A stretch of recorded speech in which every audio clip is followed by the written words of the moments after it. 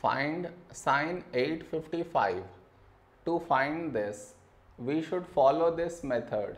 See, here we have 855. Now you should check 855 lies between which two multiples of 180. What I mean is 855 lies between 720 and 900 this is 180 into 4 and this is 180 into 5 between these two numbers 855 lies. Next. Now 855 is close to which number? This is close to 900 so 855 now should be written as 900 minus 45 so this will become sine in place of 855, now we write this 900 minus 45.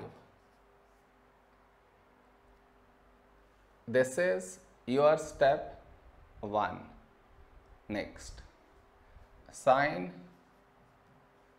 in place of 900, now we write 5 into 180 minus 45. Next, here we have 180 so sine is not going to change it will remain sine and inside we get this angle 45 now the question is will we get here plus or minus?